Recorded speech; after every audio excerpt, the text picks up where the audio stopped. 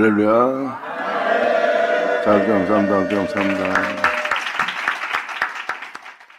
여러분이 이 세상에서 있는 것은 이 세상에서 여러분이 보고 있는 세계에서 정력을 도모하는 거, 육체를 따라 행하는 거, 이것이 무엇인지를 주님이 다 알게 하는 세계예요. 그러니까 사탄의 깊이와 넓이를 아버지가 알게 하시는 겁니다. 사탄을 알게 하는 거예요.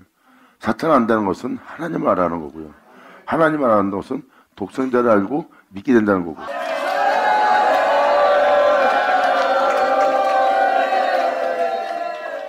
여러분들이 이 생에서 하나님의 영의 인도를 받으면서 하나님께 가르침 받으면서 그러면서 하나님께서 행하시는 뜻을 여러분들이 알게 되고 그 뜻을 따라 행함으로 말미암아 여러분이 여러분의 영광의 주를 만나는 거예요. 아버지께서는 우리를 예수 그리스도와 같은 형성을 하도록 예수님처럼 그의 아들 장성한 분야까지 자라게 할 수 있도록 또한 그와 같은 모습대로 하나님께서는 예수님께로 인도하는 거예요. 이끄시는 거. 그래서 예수님도 그러잖아요. 아버지께서 너희를 내게 이끌지 않으면 아무도 내게 올 자가 없느니라. 감사합니다. 결국은 아버지의 이끄심 없이는 예수께로 갈 자는 없습니다. 여러분 나 예수 믿습니다 해서 예수께로 가는 게 아니에요. 하나님이 이끌어야 됩니다. 하나님이 이끄는 것은 바로 하나님이 말씀하시는 바로 지혜요 복음입니다. 하나님의 가르침의 말씀이 여러분들을 이끌어서 예수님께로 이끌고 가는 거예요. 그때 여러분들은 이제 예수님을 알게 되고 예수님 안에서 한 몸을 이룰 수 있는 아버지 놀라운 역사를 경험하는 게 바로 지혜의 말씀, 하나님의 말씀이에요. 생명의 말씀입니다. 그러니까 여러분들도 아다시피 세상에서 여러분들이 보고 있는 세계에서 여러분의 욕심과 탐욕을 내며 산다는 것은 그냥 여러분 자신이 그냥 재료나 죽는 세계라는 걸 알게 해주는 거예요. 하나님을 알지 않으면 진정한 기쁨을 몰라요. 여러분이 지금도 약간 기분 좋은 일이 생기고 좋은 일이 생기고 기쁜 일이 생긴다면 그건 잠깐이에요. 그 잠깐의 맛을 보고 그 기쁨을 유지하려고 나쁜 짓을 하는 거예요. 거기에 대한 맛이 있기 때문에. 뭐든지 마찬가지예요. 돈도, 술도, 세상의 즐거움도 다 중독성이 있는 겁니다. 그 중독성을 한번 맛보고 나면 그 맛을 잊지 못해서 계속 그 맛을 유지하기 위해서 그 맛을 또 보기 위해서 사람이 죄를 짓기 시작하는 겁니다. 하지 못할 짓도 하게 되고요. 그것을 위해서 이것이 바로 우상숭배요. 다른 신을 섬기는 자의 모습들의 모습이에요. 그래서 사람들이 범죄하는 겁니다. 남들한테 칭찬받고 높임 받으니까 그 칭찬과 높임을 계속 받으려고 남들 사랑을 독차지하려고 남들이 따를 수 있는 자가 되게 하려고 그 자신의 그 맛을 보고자 끊임없이 범죄하는 거예요. 나중에는 그것을 위해서 한 일이 죄라고 생각지 않는 죄짓기에 담대한 자가 되는 거고요. 이렇게 악의 올무가 가득 거리에 널려 있습니다. 사람들은 그것도 모르고 인생을 사는 거고요. 영원히 돌아올 수 없는 자가 되고요. 그게 바로 하나님께로 돌아올 수 없는 상태가 되는 겁니다. 진리대로 살지 않으면 살지 못해요. 이 진리가, 이 지혜가 이 생에서는 핍박을 받고 멸실당하지만 왜? 당장 이 지혜를 쫓다 보면 여러분들 자신이 이 생에서 원한 것을 얻지 못하니까. 그것이 보이지 않는 것이라 사람이 따르지 못하는 거예요. 그리고 그것은 자신을 기쁘게 할 수 없는 스스은 어떠한 열매처럼밖에 안 보이는 거예요. 그래서 안 받아들입니다, 사람들이. 그래서 이거는 믿음밖에 없는 거예요. 그래서 사람들은 부여하나 다 모든 걸다 뺏기고 완전히 잃고 죽음을 초래해요. 영원한 형벌받으러 가는 겁니다. 눈에 보이는 것이 부에서 좋다고 하지만 결국은 하나도 건지지 못해요. 외면당한 진리를 믿는 자는 미상에서 모든 걸 잃지만 성경은 뭐라 합니까? 하나도 잃지 않게 되는 거예요.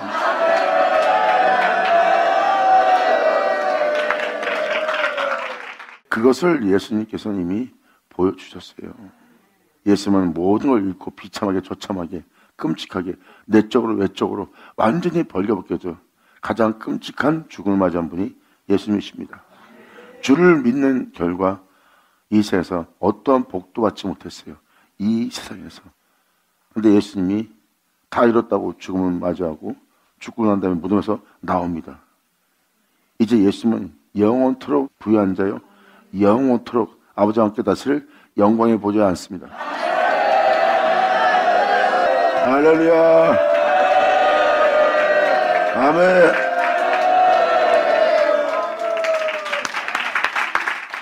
이것을 믿고 따를 자들, 이것을 믿고 행할 자들, 그리고 이것을 끝까지 믿고 이 믿음에서 벗어나지 않는 자들, 그들이 바로 하나님의 아들들이요, 하나님의 종들이요, 하나님의 장군들이요, 하나님의 백성들이요, 하나님의 군사가 될 겁니다. 그들은 그 은혜에서 벗어나지 않을 거예요. 그리고 주의 종들, 아들의 입에는 그 진리를 말할 겁니다. 아주 감사합니다. 지금도 3장은 지혜에 대해서 표현합니다. 지혜가 최상이라는 거. 세상에다 지혜를 얘기하면 그게 쌀이 나오냐, 밥이 나오냐 할 겁니다. 근데 그게 밥보다 쌀보다 더 귀하다는 거. 이 세상 천하만국의 모든 부여함을 합친다 해도 이 지혜 한 구절보다 못하다는 거. 2000년 예수님이 하신 말씀은 그들이 다 거짓처럼 들렸을 거예요. 근데 하나 거짓이 아니라는 것이 말씀이 이루어져 그 모든 곳에서 죽음을 당한 예수님이 부활해서 모든 곳에 모든 대신은 모든 곳의 주인이 되십니다. 이거는 어느 누구도 그의 권능과 권세와 부여함을 빼앗을 수 있는 자는 없어요. 또한 그에 대한 찬송은 영원토록 있는 세계에서 여러분이 아무리 엄청난 존재로서 영원히 산다 해도 그의 찬송을 뺏지 못할 겁니다. 왜? 그의 찬송으로 찬송할 수 있는 존재가 되었기 때문에.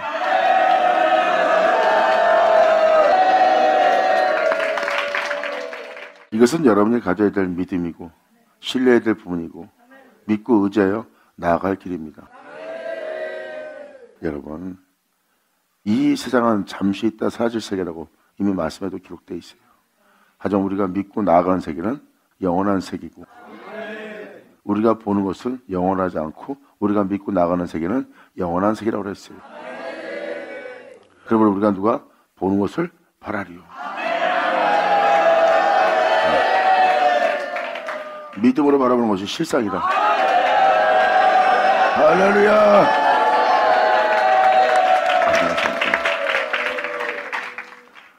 3장이 다 그 내용으로 기록되어 있어요. 지혜의 주요성과 지혜가 얼마나 귀한 것이고 지혜가 모든 것이고 지혜가 진정한 부여함의 부여함이라는 것. 그래서 알기 위해서 기록되어 있는 겁니다. 이것은 변하지 않는 진리로서 하늘에 굳게 세워져 있는 거예요. 그리고 땅은 그 지혜를 따라 그 복음을 따라 살아갈 땅을 세우는 거고요. 굳게 세워진 하늘에 하나님의 명청과 하나님의 선하심으로 하나님의 천대심으로 다스릴 수 있도록 하늘에 굳게 세워져 있어요. 펼쳐 있고요. 진리대로 돌아가는 세계입니다. 여러분들은 그 은혜와 하나 되어 지극히 선한 것을 분별하며 살아갈 땅으로서 하나님의 지혜가 세우는 거고.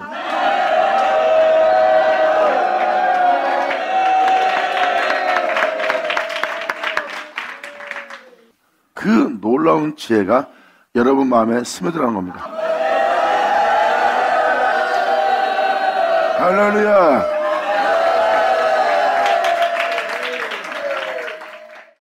자, 잠언서 3장 들어가자. 이 3장을 쭉 읽어나가면 어제도 말씀드린 것처럼 여러분들은 예수님을 그대로 보는 거예요. 2000년 예수님은 육신은 목수의 아들로서 아무것도 가진 것이 없는 자로서 미천한 신부를 지닌 옷을 입은 상태에서 글도 모르는 자로서 이 땅에 서 있습니다. 그다음 모든 자에게 영원한 생명을 주고 어둠에서 빛으로 옮기며 하나님을 알고 하나님 안에서 살아갈 수 있는 샘손은 영생하도록 솟아난 샘처럼 예수님 안에는 무한한 지혜와 무한한 명철과 무한한 사람이 충만히 가득 채워져 있었어요. 거기서 사람들이 알지 못할 놀라운 지혜와 지식이 막 쏟아 나옵니다. 그리고 어느 누구한테도 볼 수 없는 선함과 거룩함과 경건함과 진실함과 깨끗함이 그에게 있었어요. 바로 그것이 예수님이 자신 몸에 가득 채운 하나님의 은혜입니다. 이것을 예수님은 하나님이라고 표현했어요. 그 은혜 받은 모습이 보이죠? 사람 안에 그 모든 것이 그 안에 가득 차 있었어요. 이게 3장에 그대로 나와 있는 내용입니다. 3장 자체가 바로 2000년 사람으로서 있다고 그랬던 그분 안에 무엇이 있었는지 또한 그 안에 있는 그 은혜로 이 세상을 어떻게 걸었는지 2000년 예수님 모습이 그대로 보이는 장이 지금 이 잠언서 3장입니다. 2000년 예수님은 자기가 하나님 아버지 명대로 행하는 것을 세상으로 알게 한다고 그랬어요. 그러므로 그분은 이 세상 어떤 상황과 여건이 닥칠지라도 하나님 명대로 행하는 거예요. 모든 걸 일자도 하나님 명대로, 자존심 상하도 하나님 명대로, 배반당해도 하나님 명대로, 짓밟혔던 하나님 명대로 끔찍함을 당해도 그분의 명대로 벌거벗기면서 십자가에서 비참하게 죽으며 조롱받을지라도 하나님 명대로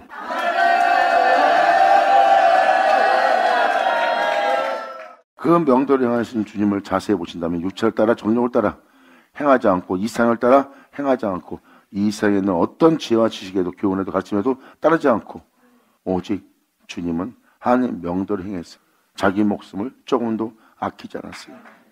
그 아끼지 않은 주님이 말씀하십니다.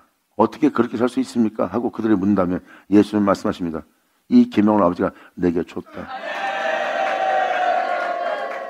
이 모든 걸 버려가면서 살아갈 수 있는 이 계명 그리고 다시 얻을 수 있는 이 계명 할렐루야. 아멘.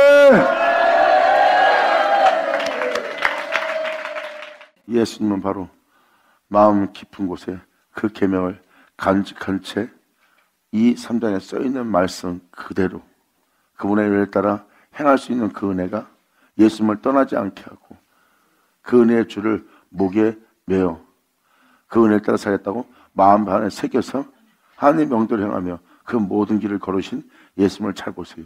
그래서 이 3장을 보면 예수님이 걸었던 그분의 모습이 그대로 보일 겁니다. 그러한 상태에서 예수님이 십자가에서 그 모든 걸 마치신 거예요. 사람들은 것이 부질없는 아무것도 아닌 헛된 것처럼 보일지 모르지만 그는 알무로 그 길을 걸어가는 거예요.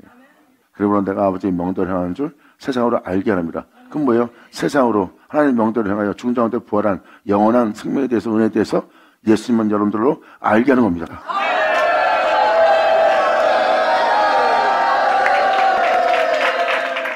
그것을 알게 하기 위해서 주님은 자신을 알라고 표현합니다. 여러분들은 사람으로 오신 예수님, 이 땅에서 부활하신 예수님을 알려고 하세요. 그럼 여러분 자신이 사람으로 있는 여러분 자신도 육체로 있는 여러분 자신도 육체로서 부활한 예수님을 알게 되면 여러분도 육체로서 부활할 자신을 알게 될 겁니다. 예수님을 알므로. 그러니까 하나님이 예수님이 하나님을 알므로 부활한 것처럼 여러분 또한 그 예수님을 알고 나니 여러분들은 그 하나님을 알고 육체가 부활한 예수님처럼 여러분도 그 하나님을 알고 여러분들이 육체로서 부활할 수 있는 2000년 그와 같은 아들로서 부활하는 거예요.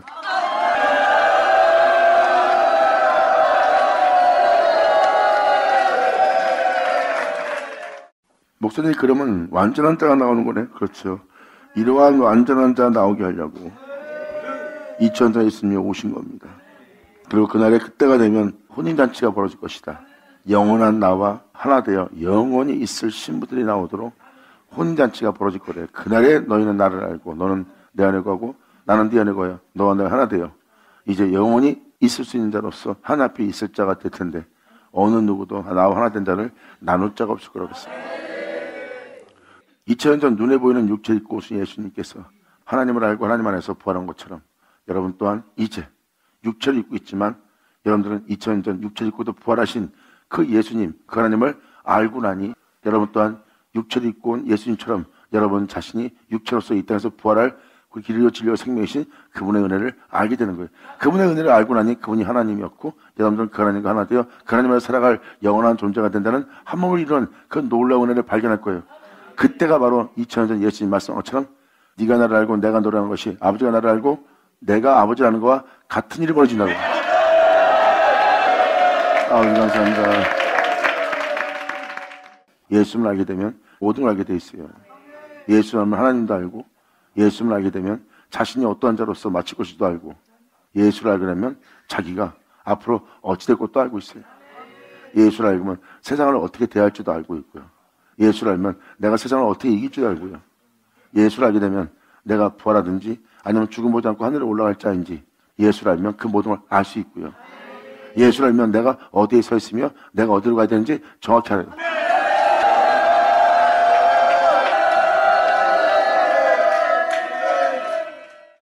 예수님은 우리한테 일어날 일을 2000년 전에 미리 보여준 겁니다.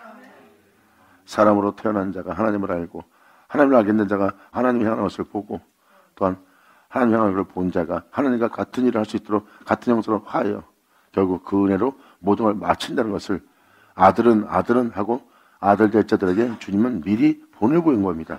그리고 이 일이 이루어질 때 내가 갔다 온단 말 너희가 들었거니와 그럼 온다는 것은 바로 그 은혜가 그대로 여러분들한테 이루어진다는 거예요. 그 은혜가 이루어질 때 너희로 믿게 하랍니다.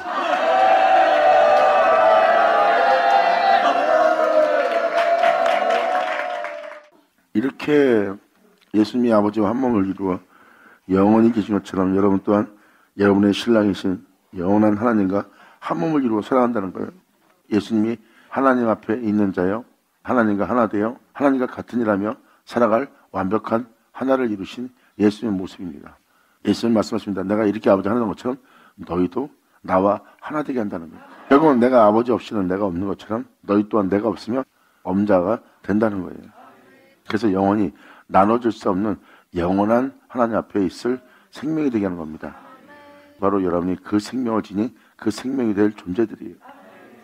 이것이 바로 하나님 여러분한테 이고자 하는 하나님의 은혜고 왜? 그 일을 위해서 예수님이 십자가에서 피 흘렸기 때문입니다.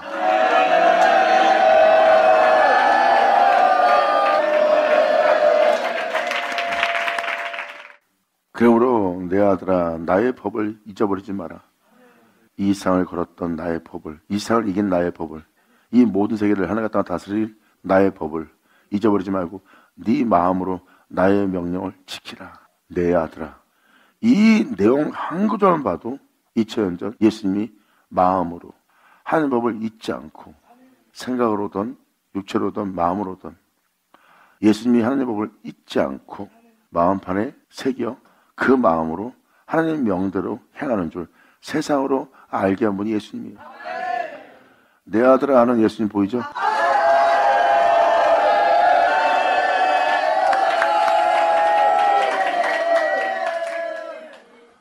이제부터 쭉 읽어나가면 예수님이 사람으로서 이 땅을 걸었던 예수님의 충만한 모습이 이 말씀 한 구절 한 구절로 다 표현될 겁니다.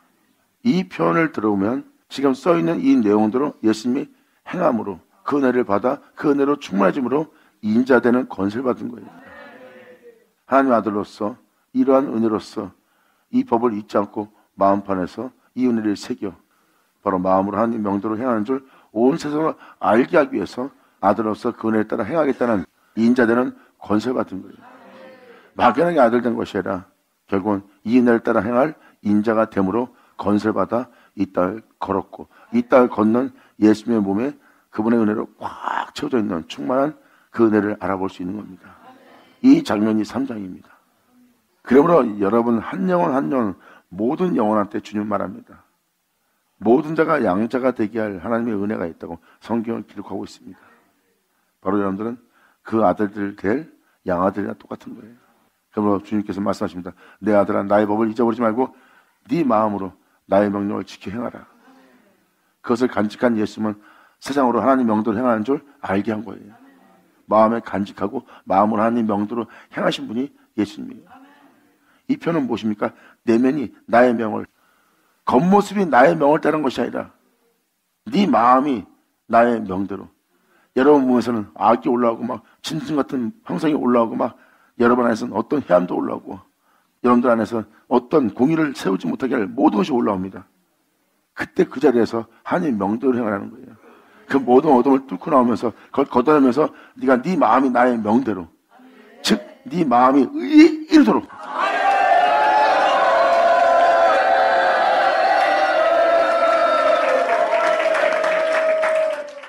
그래서 치열한 전쟁이 있는 겁니다. 사도 바울은 표현합니다. 너와 나에게 같은 싸움이 있나니 너희는 내 마음에서 본바여 들은 바라 그랬어요. 내 마음이 얼마나 치열한 전쟁을 치러가며 말씀을 전하는지 너희는 내 마음에서 전쟁하는 것을 본바여 들은 바로 표현합니다. 끊임없이 그런 상황에 혈과 육으로 성냄으로 그러한 판단으로 그러한 마음으로 나 또한 인간이라 부딪히면 그럴 마음이 내게 올라온다. 하지만 그 악은 아버지 뜻 안에 살면서 내가 원하는 것이 아니다. 근데 그 악이 내 안에서 올라와 아버지 법을 따르고자 하는 내 마음에 있는 법과 싸워서 나를 재료로 사로잡아간 걸 내가 보기 때문에 하나님 말씀대로 행하기에는 내 몸이 움직이지 않고 오히려 악을 행하며 피 흘리길 기뻐하는 이 비참한 나의 자신을 보았노라. 이 사망에서 누가 나를 건져내랴?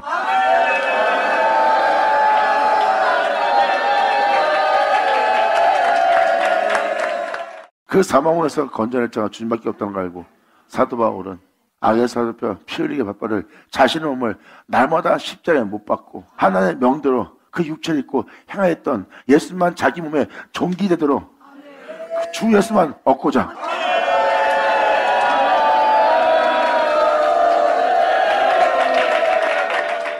이선 나한테만 있는 것이 아니라 너와 나에게 같은 싸움이라는 거예요.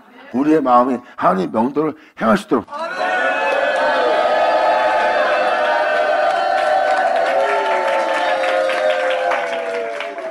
그러므로 말씀합니다. 내 아들아 나의 법을 잊어버리지 말고 네 마음으로 나의 명령을 지키라. 그리하면 그것이 너로 장수하여 많은 해를 누리게 할 것이다. 이 땅에서 오랫동안 살게 할 거래요. 네가 나의 법을 잊지 않고 네 마음이 나의 명도로 행한다면 그 행하는 그것이 너로 이 땅에서 오랫동안 살게 할 것이며 많은 해를 누리게 할 것이며 또한 평강을 여러분이 그 평강을 누리게 될 거래요.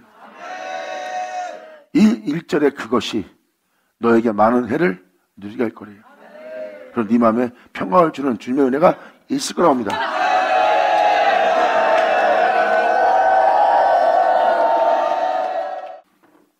이것은 무엇을 말하고 있습니까?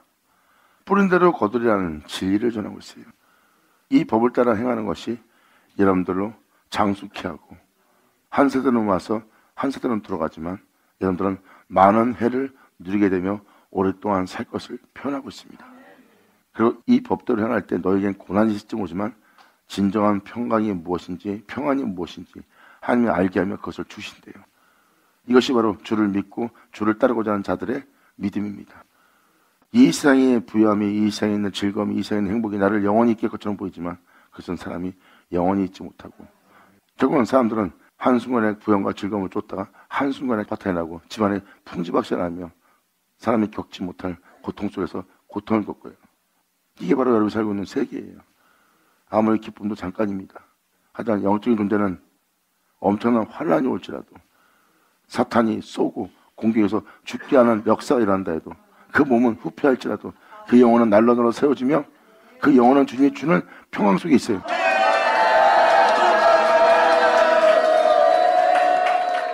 진정한 평안과 평안은 하나님부터 옵니다.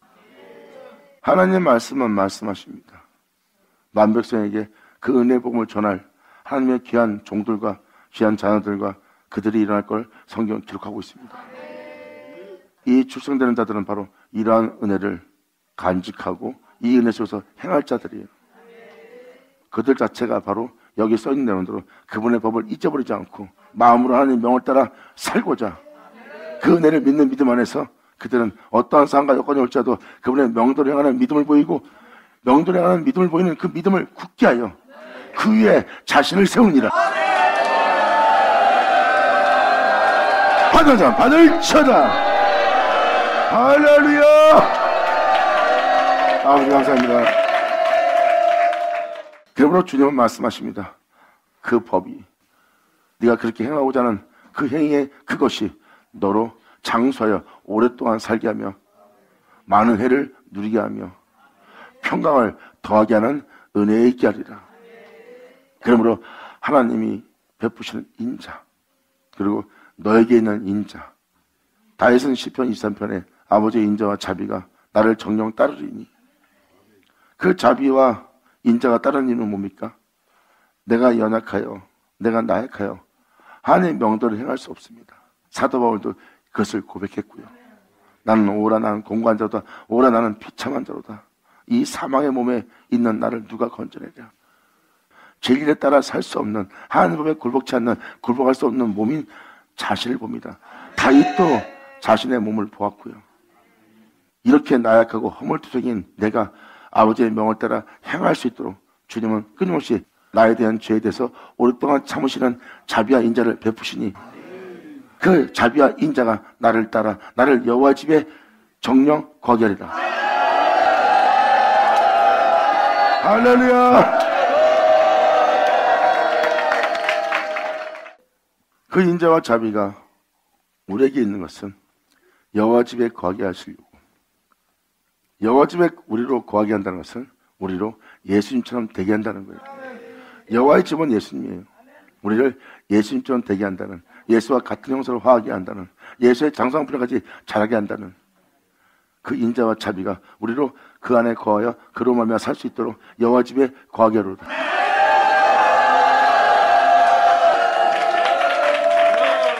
여호와 집에 거하게 할 진리. 이 진리는 바로 예수에서 예수 끝난 그 모든 진리 가운데로 인도할 진리예요. 그러므로 인자와 진리가 너에게서 떠나지 않게 하라. 이걸 떠나게 하는 건 여러분 자신이라고 표현합니다. 하나님의 아들들이 세상의 여자들의 아름다움을 보고 그들을 사랑함으로 그들을 아내로 그 모든 것을 받아들입니다. 여러분도 하나님을 믿는 하나님의 자녀들이에요. 근데 여러분들이 세상의 아름다움을, 동을, 명예를, 명성을, 이생의 영광을, 이생의 뛰어난 것, 이생의 즐거움을 좋아함으로 말미암아 그것을 여러분 자신이 해산을 그 모든 안으로 맞이하는 게 여러분들의 모습입니다. 그런 모습은 이 인자와 진리를 떠나게 하는 모습이에요. 이 세대를 본받고 이 세상을 사랑하는 자의 모습이기 때문에 그분의 인자와 자비는 여러분과 함께 할 수 없어. 너희가 육체가 됨이라 하고 주님이 떠난 것처럼 떠나버립니다. 이렇게 인자와 진리로 내게서 떠나지 않게 하고 그 은혜를 따라 살겠다는 그것을 네 목에 메고 네 마음판에 새기라. 할렐루야! 아멘! 우리 귀로 들은 말씀대로 우리가 그 은혜를 믿고 그 은혜를 의지하여 그 말씀대로 우리가 살겠다고. 그것을 네 목에 메어 네 마음판에 새기라. 할렐루야! 아경성 다음에 우리 이채원도 예수님 모습 보이지 않으세요? 예수님이 그런 비아냥거림과 해함과 사람들의 조롱과 비웃음과 핍박과 박해와 해할 두려움을 주는 그들 앞에서 또한 그네의 믿음을 보이지 않는 그 강박한 자들, 목이 굳은 백성들, 폐역한 존재들, 그리고 해도 너무하는 그들의 말솜씨들. 예수님은 그럴 때 마음에서, 내면에서 어떤 반응이 일어났을까요? 여러분들도 지금 누가 조금만 기분 나쁘게 하고 잠시만 상해도 여러분들 내면은 진심으로 가득 찰 거예요. 예수님은 마음은 어땠을 것 같아요? 근데 예수님은 그러한 진실을 통해서 쓰임받지 않고 아버지의 은혜 따라 아버지 법도를 행하겠다고 이것을 마음판에 새긴 모습이죠.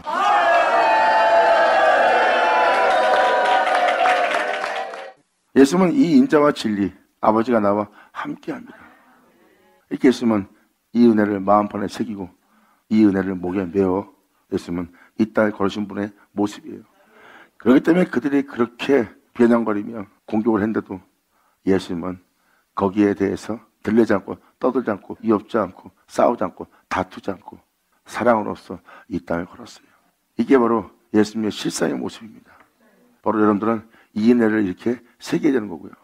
여러분들이 이 은혜 따라 산다 그러면 여러분 안에 예수님이 살게 되고 이 은혜 따라 살겠다고 여러분들이 마음 먹고 그 안에 여러분 자신을 굳게 세운다면 이제 여러분 안에 사는 자는 여러분이 아니요 예수입니다.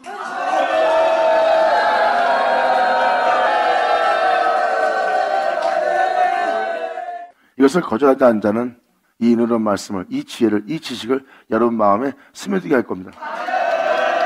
그것은 이 은혜를 믿고 이 은혜 따라 살겠다는 그 은혜를 여러분이 인정함으로 그 은혜를 받아들였다는 문을 여러분들은 열어드리는 문지기가 될 겁니다. 할렐루야. 그리고 주님은 여러분 에 흘러들어가 여러분과 더불어 먹고 사는 진리의 영으로서 여러분 내면에 계실 거예요. 사람으로서 있다 그러며 사람으로서 이상을 이긴 그 주님을 이제 내 몸에 존귀되게 하는 거예요. 이 세상 싸움, 내가 살아갈 육체가 되는 것이 아니라 이 세상에서 이 세상을 이긴 그 육체이신 예수님만 내 안에 존귀되도록 파도하자 받을 쳐다 감사합니다 자 여러분 감사합니다 그래서 인자와 진리로 너에게서 떠나지 않게 하고 그것을 네 목에 매어 네 마음판에 새기라는 예수님이 걸었던 그 길하고 똑같은 겁니다. 이것이 바로 여러분한테 일어나야 될 영적 은혜예요. 새기라. 그리하면 네가 하나님과 사람 앞에 은총과 귀중히 여길 받는 자가 될 거래요. 이 법이 무슨 법이기에 이 은혜가 무슨 은혜기에 우리로 하나님 앞에 존귀한 귀한 존재가 되게 하고 사람 앞에서 귀중한 귀한 존재가 되게 한다는 거예요. 결국은 그 법을 따라 행해보면 하나님 앞에 사람 앞에 귀중히 여기는 존재인 것을 아버지가 알게 하시는 거예요. 근데 그 법대로 행하지 않고 여러분들은 사람 앞에 하나님 앞에 귀중한 존재가 되려고 여러분들은 열심히 특심을 냅니다. 이 은혜를 여러분 목에 메고 마음판에 새겨 이 은혜 따라 살려고 하지 않고 진리에 따라 살지 않고 여러분 스스로가 남한테 잘 보이는 존재, 나보다 나은 존재, 자신의 명성을 얻으려 는 행위가 나옵니다. 그건 진리가 아니죠. 천하만국 영광을 쫓고 있는 자고 이 세상의 도리를 쫓고 이 세대를 본받는 자죠. 믿음은 그 모든 것이 하나님부터 오는 것을 공급한다는 그 은혜를 믿는 믿음 안에 하나님부터 그 공급을 받는 자가 바로 진정한 믿음을 갖는 자예요. 그들이 바로 그분의 은혜를 따라 행하는 자고요. 그분의 은혜를 따라 행하게 되면 행하는 건 자신이 아닙니다. 그렇게 대기한 말씀에 의해서 행하는 자는 그 말씀의 행함 속에 인자가 되죠. 이는 그리스도의 영이라. 이는 진리의 영이라. 할렐루야! 아, 감사합니다. 그러므로 이러한 진리 가운데 행하는 자를 누가 귀히 여기지 않겠습니까? 2000년 전 그 진리에 따라 행하는 예수님을 죄인들은 나음받은 자는 그를 따르는 자들은 예수님을 귀히 여겼어요. 말씀대로 사는 자는 바로 하나님 앞에서 사람 앞에서 이렇게 귀중히 여김 받는 자가 될 겁니다. 말씀대로 살아보세요. 그러면 자신이 하나님 앞에 사람 앞에 귀해지는 걸 느낄 겁니다. 특히 하나님이 아낀 자가 될 거예요.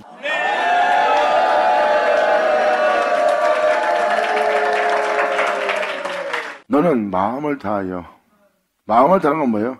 마음 자체가 하나님 명도로 행하려고 마음을 다하셔야 됩니다. 마음이 하나님 명도로 행하는지 안 하는지 항상 살펴봐야 돼요. 마음이 하나님 명도로 행하지 않는다면 그 마음을 다하여 하나님 명도를 할 수 있도록 또한 여호와를 의리하고 여러분들의 명철을 의지하지 말래요. 너는 마음을 다하여 여호와를 의리하고 오직 주님만 의지하고 주님만 바라고 주님한테 공급받고 오직 주님께 모든 걸 의리하지 네 자신에게 이 세상에 어떤 누구에게 네 동료에게 의리하지 마라. 오직 여호와께만 의리하라.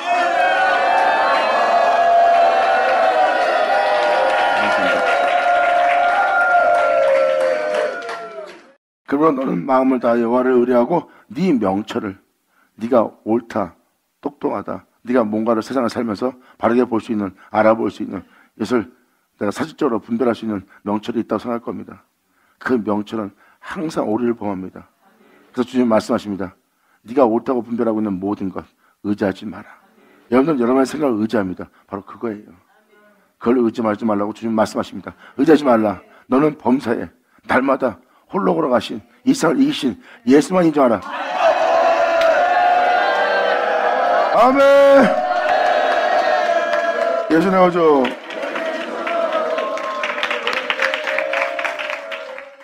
너는 범사의 그를 인정하라. 사도 바울은 날마다 예수를 종기 되게 따르고 나마다 예수를 종기 되게 한다는 것은 바로 날마다 그분만 인정한 거예요.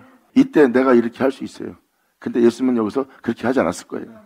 그러면 여러분들은 그렇게 할 자신을 인정하지 않고 그렇게 향한 예수를 인정하는 거예요. 여러분 자신이 바로 그분의 생각을 의지하고 그분의 생각을 인정하고 그분의 마음을 인정하는 거예요. 그러니까 내 몸 자체에서 그분만 인정하는 겁니다. 내 몸을 인정하지 않고 그분의 행하신 말, 그분만 인정하는 자. 이것이 바로 여러분 몸에 주 예수를 종기되게 하는 것이요. 이제 이 생에 어떤 미혹과 유혹이 와서 내게 유익한 모든 것을 부어준다 해도 우리가 예수를 얻을 수 없다면 그것은 내게 해가 되는 것이요. 내가 예수만에 사랑할 수 있는 그 아름다움 속에 예수 행을 날릴 수 없는 자가 된다면 그것은 배설물에 불과한 것이라. 이렇게 날마다 그를 인정하라.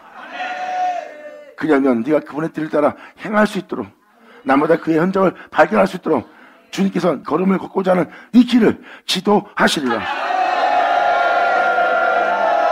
날마다 주님이 그 길을 지도하십니다.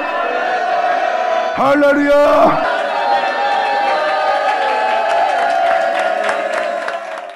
그러므로 너희는 스스로 지혜롭게 여기지 말지어다. 여호와를 너는 도리어 경외하고 그분의 뜻을 따르지 않는 모든 악을 떠날지어다. 사도 바울은 이 진리에 대해서 뭐 실장이 말합니다. 내 몸은 제법을 섬기고 있다는 것. 내가 내 몸을 생각하고 내 몸을 사랑하고 내 몸을 위해서 행동한다면 내 몸 자체가 제법만 쫓고 있다는 걸 압니다. 그래서 몸의 유익과 몸을 위한 길을 건다면 몸은 제법을 섬기는 걸 사도 바울이 명확히 깨달았어요. 하지만 마음으로는 하나님 법을 섬긴다는 거. 그래서 내적인 하나님의 은혜를 따라 살고자 하고 이 육체, 제법 성기는 이 육체를 부인하며 주님을 따랐던 자가 바로 사도 바울이에요. 그러므로 사도 바울은 자신을 스스로 죄롭게 여기지 않고 여호와를 경외하며 그 악을 떠난 자입니다.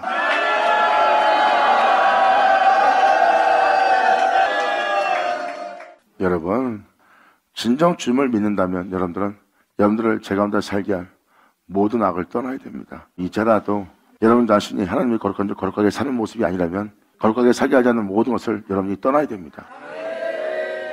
이건 진리예요. 내 아들아. 아멘.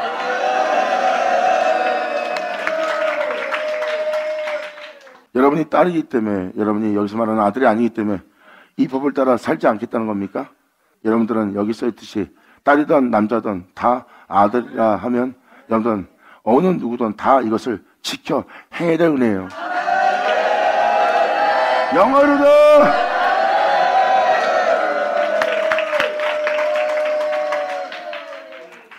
이것을 한마디로 함축해서 다음 절에 이렇게 표현합니다.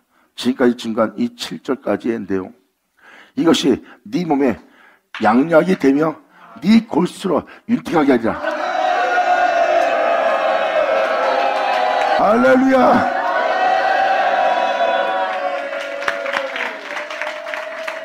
외적으로나 내적으로나 영권을 감경케 할 네 몸에 양약이 되리라. 아멘!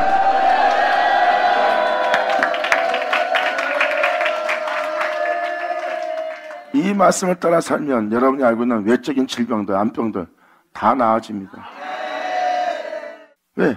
진리는 여러분 몸에 좋은 양약이 되니다 이것은 바로 하나님의 생명의 말씀이요. 이 생명의 말씀은 생명의 법이요. 이 생명은 성령이요. 이 성령의 생명의 법은 여러분들을 이 죄와 사망에서 이 모든 질병 가운데서 모든 고통 가운데서 해방시킬 은혜이기 때문입니다. 감사합니다, 아버지! 할렐루야! 이것이 내게 무슨 유익입니까? 여러분이 그렇게 말한다면 지금 8절로 이것을 표현해 줍니다. 바로 이러한 유익이 여러분한테 일어납니다. 여기에 있는 양약은 몸에 가장 좋게 되는 겁니다. 몸에 가장 좋은 영양분을 공급하는 여러분들의 영육관을 간곡히 하는 거예요. 그리고 여러분의 골수로 윤택해 한다는 것은 바로 여러분의 걷는 걸음에 골수에 김찬 모든 은혜가 윤택하게 되는 거예요. 이제 여러분들은 이 세상에 있는 질병과 모든 병마와 모든 각종 각색병들이 여러분들 주장하지 못합니다. 오히려 이 법은 여러분들로 이 땅에서 윤택케 하고 윤활하게 되게 하고 건강하게 되게 만드는 하나님의 법이래요. 그러므로 이 진리를 따르라고 표현합니다. 이 세상에 난 모든 질병과 이 세상의 사람들이 부유하고도 고통스럽고 이 세상에서 뛰어난 자가 되어도 고통스럽고 모든 것이 허전하고 또 모든 것이 채워도 채워도 채우지 않는 그 모든 것과 육체 질병과 각색병들은 다 진리를 따지 않고 행한 죄로 인하여 온 세계다. 그러므로 너는 이 법을 너에게 두어라. 그러면 네 몸에 양약이 되어 네 골수로 윤택하게 되게 하리라. 할렐루야! 아버지 감사합니다. 아버지 감사합니다. 이것이 바로 여러분이 반드시 지켜야 될 하나님의 약속의 은혜예요. 말씀 따라 살면 여러분들은 진짜 이렇게 몸이 건강해지고 강건해지고 여러분의 골수가 윤택하게 되고 여러분들은 정말 해같이 빛나는 영적인 밝은 존재의 모습으로서 보일 겁니다. 그래서 하나님께서 그렇게 되려 했기 때문에 반드시 그렇게 되는 은혜예요. 여러분 몸은 그 은혜가 성취되는 걸 보는 거고.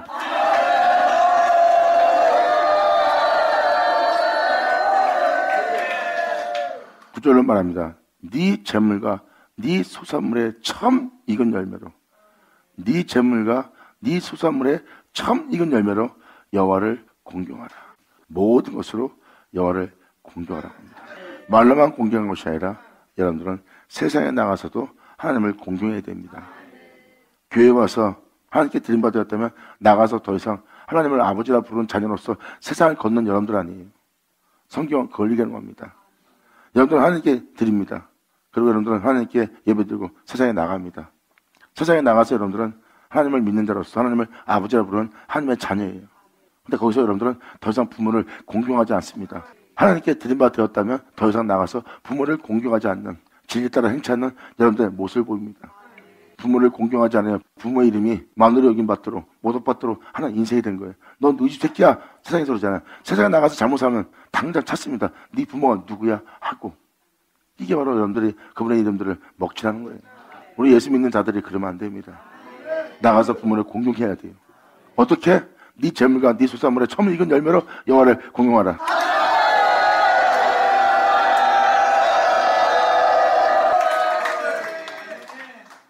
예수로.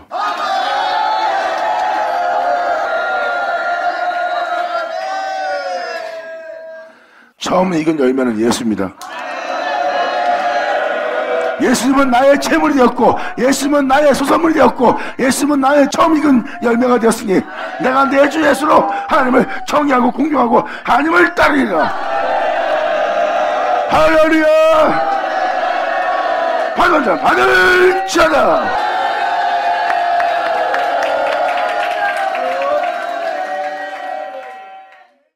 이것은 참으로 놀라운 은혜입니다.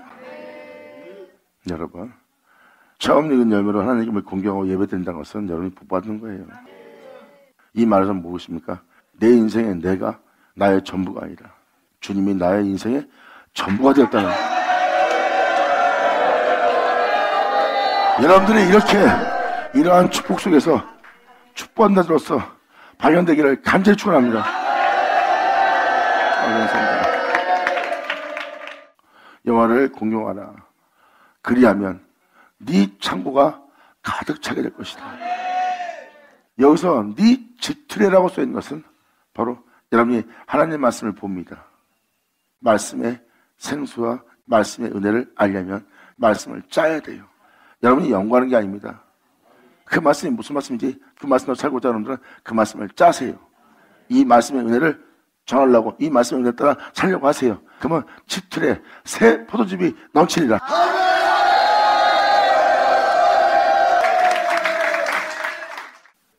지금 내용들을 자세히 살펴보면 그 말씀대로 행하는 자를 얘기합니다. 이 말씀을 마음번에 새기고 그 말씀대로 행하는 자한테 얘기합니다. 그 말씀대로 행한다면 너한테 이러한 현상과 이러한 일이 일어날 것이다. 그리고 이 10절은 뭘 얘기합니까? 이 은혜를 따라 네가 행하려고 한다면 다시 이 은혜를 따라 더욱더 거룩한 산으로 갈 수 있도록 더욱더 빛 가운데 행할 수 있도록 더욱더 그 거룩한 시온에 오를 수 있도록 너를 더욱더 거룩한 길을 걷게 할 그 내용을 얘기하는 거예요. 그 은혜 따라 살겠다고 살았는데 더 그 은혜 따라 살게 할 집이 나오네. 자, 그으로 네가 더욱더 거룩한 시온에 오를 수 있도록 네 집들의 세포도주 집이 넘칠 것이라. 날마다 날마다 거룩해지고 의로워지고 온전해지고 더 높은 곳에 올라갈 수 있는 그 은혜의 영광의 자리에 올라갈 수 있도록 하는 그 집이 내면속에서 더욱더 충만히 넘쳐질 것입니다. 할렐루야! 받은 자, 받을 쳐다! 감사합니다, 아멘!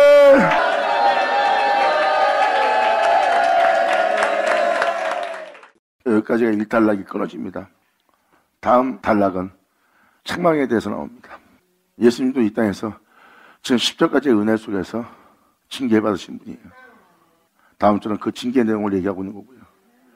예수님이 바로 이러한 은혜 속에서 하나님 명대로 세상으로 하는 것을 알게 하면서 이 땅을 걸었던 분이 10절까지의 내용입니다. 그 주님은 더욱더 거룩해질 수 있도록 그 포도즙을 계속 짜내는 새 포도즙이 되었어요. 결국은 십자가에서 그 모든 걸 이루고 끝마칠 집까지 짜냈어요.